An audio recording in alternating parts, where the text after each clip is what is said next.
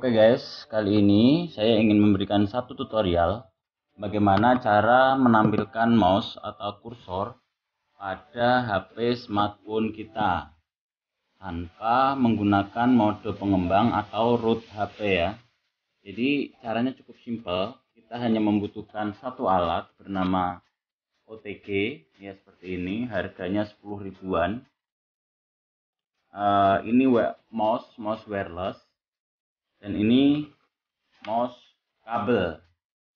Ya. Yang pertama ingin saya tunjukkan ke teman-teman langkah pertama kita buka dulu ini uh, eh, OTG nya lalu kalau kita menggunakan mouse yang berkabel semacam ini yang pertama-tama silahkan teman-teman masukkan ini slot semacam ini Lalu masukkan slot lubang ini ke dalam slot charger. Ya. Lalu teman-teman pilih yang namanya mode setting pengaturan. Cari OT, OTG ya. Ini kita aktifkan. Ya, maka secara otomatis uh, kursor atau mouse ini sudah masuk ke dalam uh, eh, HP kita. Tampilannya ini bisa kita gerakkan menggunakan uh, mouse ini.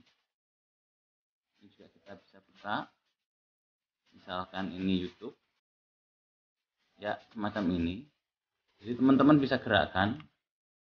Ya, jadi bisa Nah, cara kedua dengan menggunakan mouse wireless. Kita lepas dulu.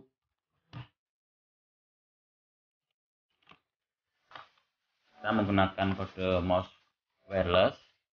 Yang pertama pastikan mouse itu ada uh, ini baterai ya. Baterai dan lepas yang namanya kode wirelessnya ini. Kita tutup. Nah kode wireless ini yang terdapat dari mouse kita masukkan ke slot OTG ya OTG ya ini kita masukkan. Setelah kita masukkan kita masukkan ke slot charger lubang charger pada HP kita. Ini bisa kompatibel ke semua HP ya. Nah langkah berikutnya ini kita on kan ya dan pastikan pengaturan OTG ini sudah aktif, maka secara otomatis ini akan muncul. Ya, kita berhasil ya. Good job.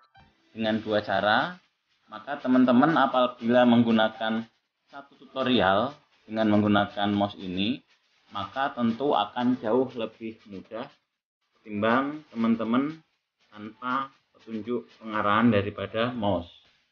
Jadi tidak perlu root HP atau menggunakan mode pengembang. Jadi tidak ribet ya, tinggal kita modal mouse dan satu uh, ini USB OTG yang berharga yang harganya sekitar 10 ribuan.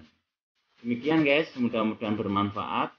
Apabila teman-teman suka dengan video ini, silahkan like, comment, and share. Dan jangan lupa ya, subscribe channel ini, Apin Channel. Terima kasih.